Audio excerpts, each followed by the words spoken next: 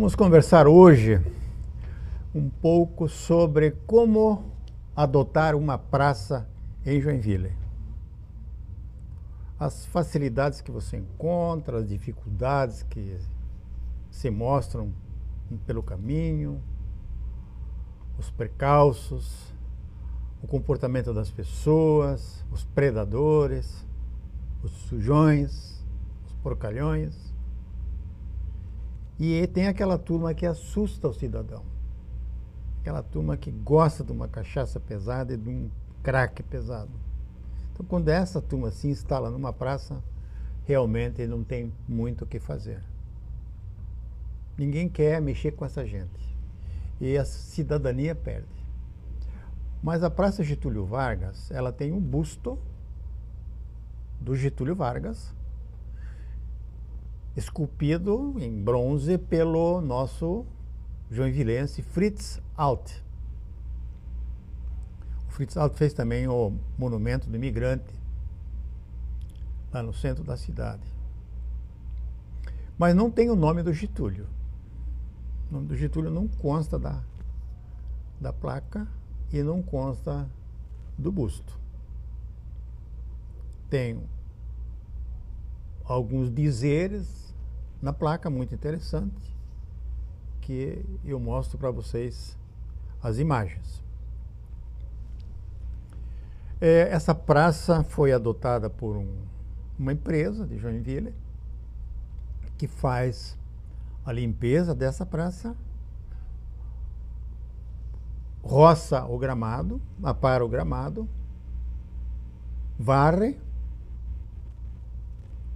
e o, a, o pedrisco e as, os galhos que caem de uma outra árvore bem grande que já está em fase final de vida, em decadência, é, é, é também limpo isso tudo e, e deixado a praça em boas condições. Só que durante a noite, os moradores de rua, os drogados, se instalam nessa praça, dormem, juntam roupa que é tirada de não sei aonde, vem com mala cheia de roupa, lixo, garrafa de, de cachaça, garrafa de, garrafa de vinho, cerveja, chepa de cigarro, aparatos para fazer o crack, queimar o crack. Ficou tudo jogado lá. Sujeira em cima de sujeira.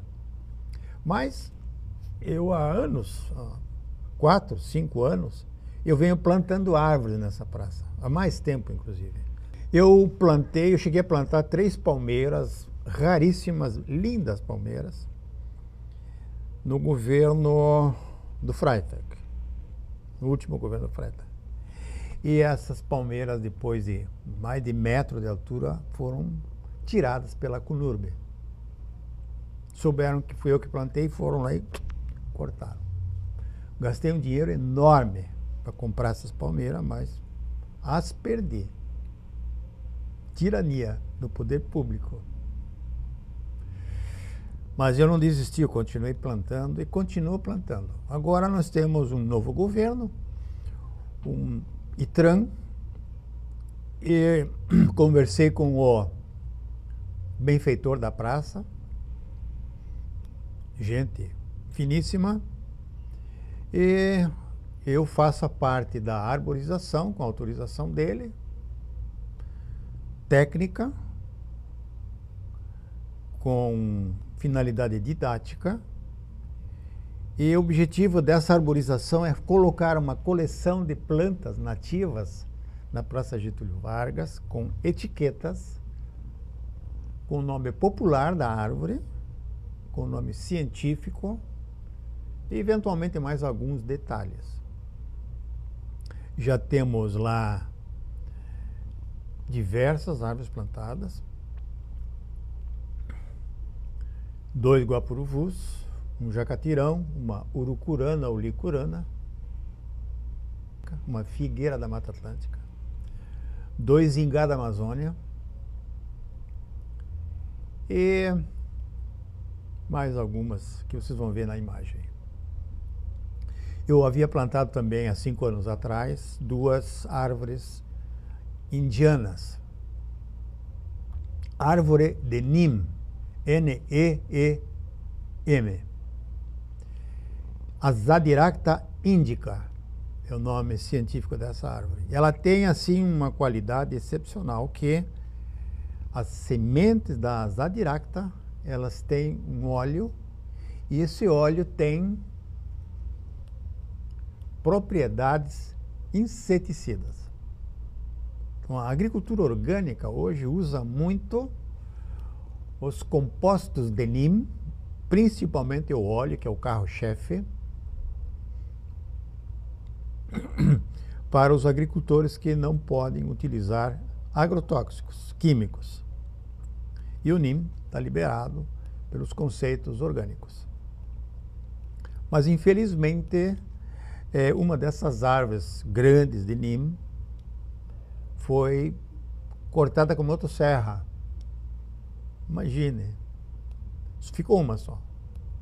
Mas ela já tinha mais de 5 metros de altura e foi cortada com motosserra porque no lado dessa árvore o planejamento de segurança de Joinville colocou uma câmera, uma câmera para filmar e registrar imagens da bandidagem que ocorre nessa praça. E, coitada, a árvore foi sacrificada. Se aquela câmera lá funciona ou tem alguma utilidade, eu não sei. Duvido.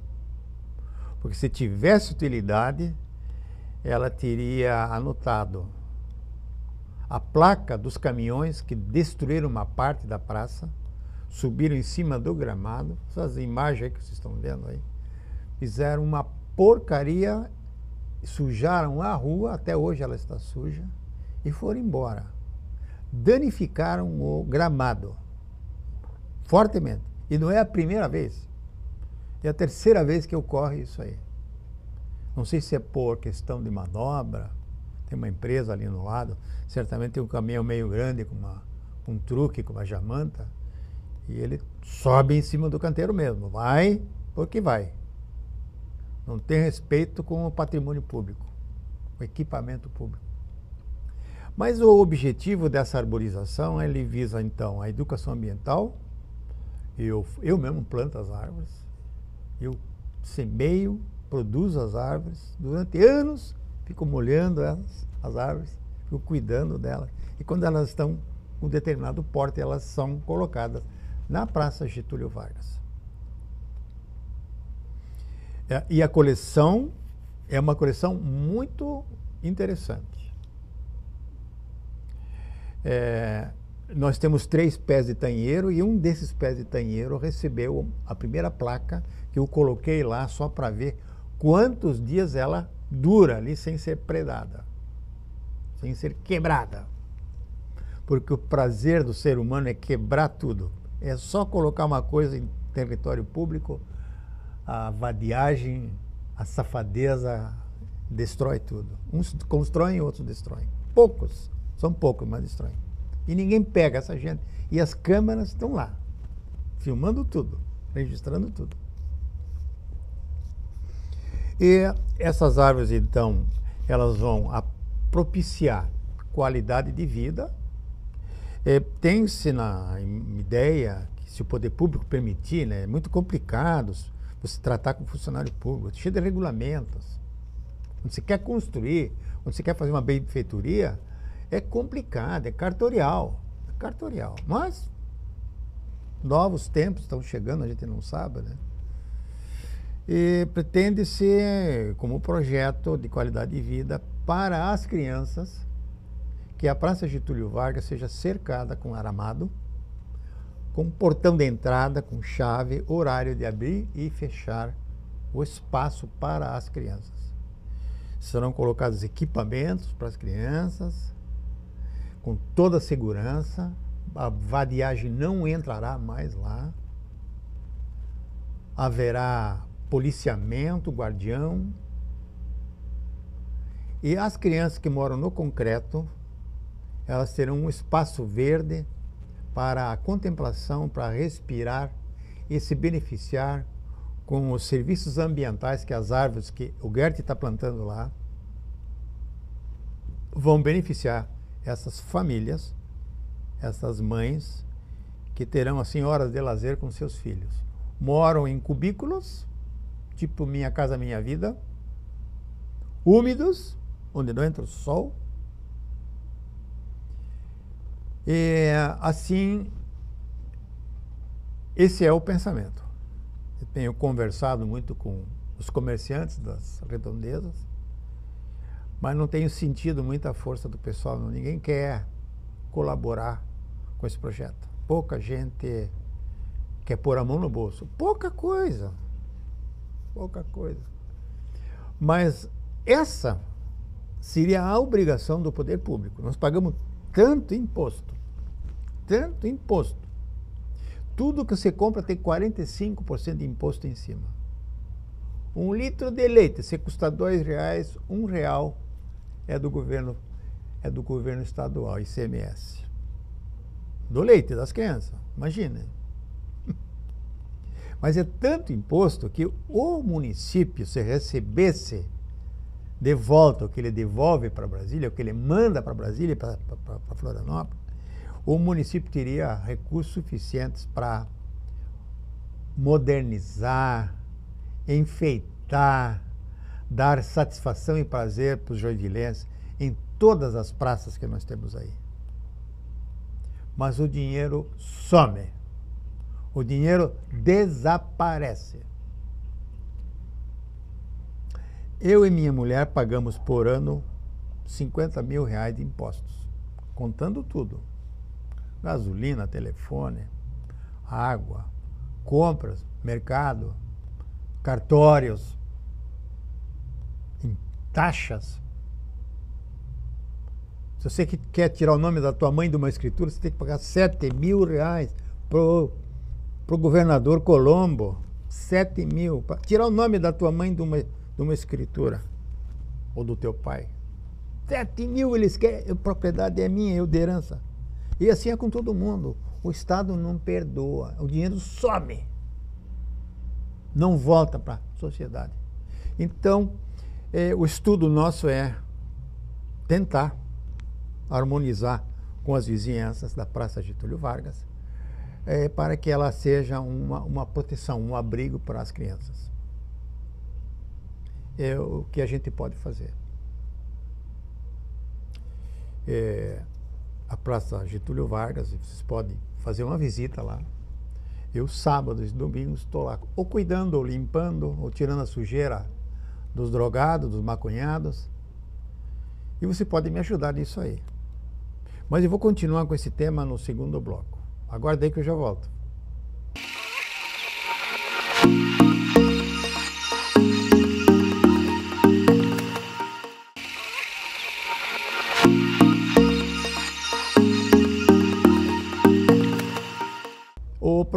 Então está tratando hoje da Praça Getúlio Vargas, é uma praça pequenininha, bem pequenininha.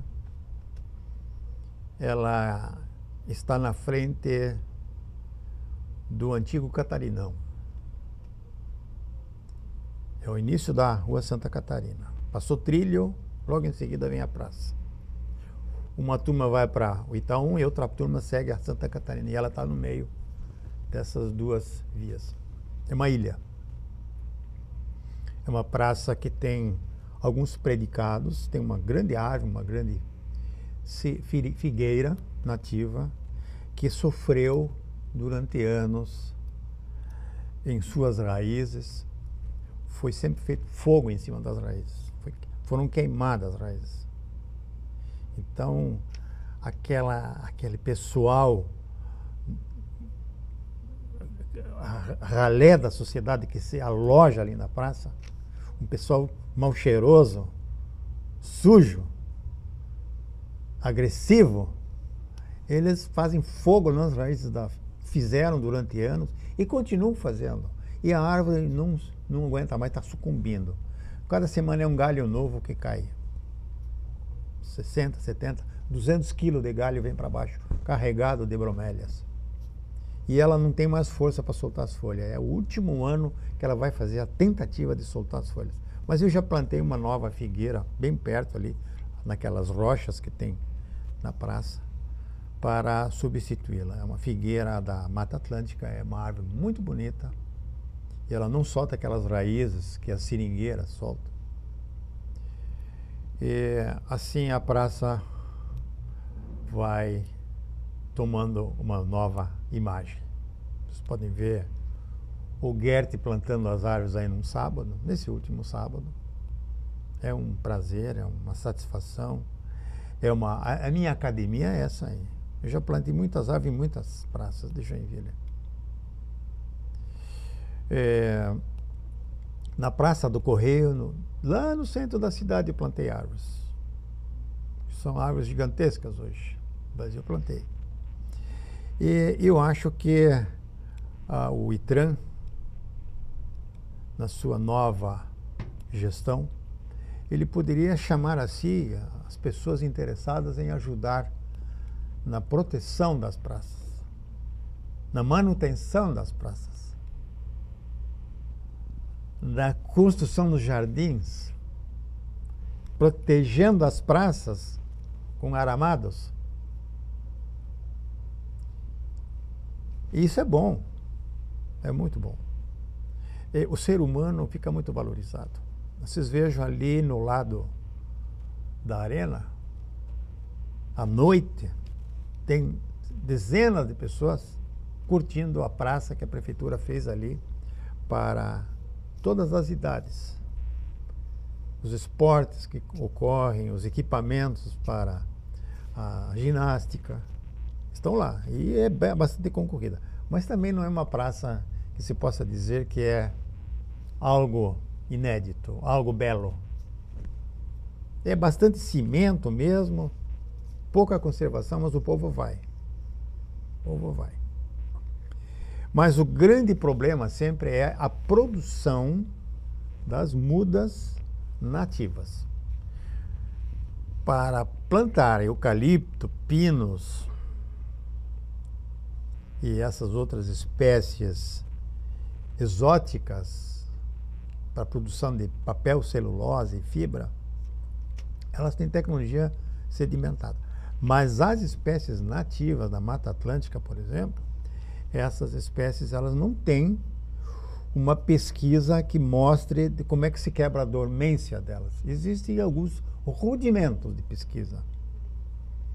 Mas produção de espécies nativas é algo um pouco nebuloso ainda para muitos profissionais dessa área. E eu tenho, estou me dedicando, sempre me dediquei à, à, produção de espécies nativas. Já fiz diversos viveiros, tive viveiros.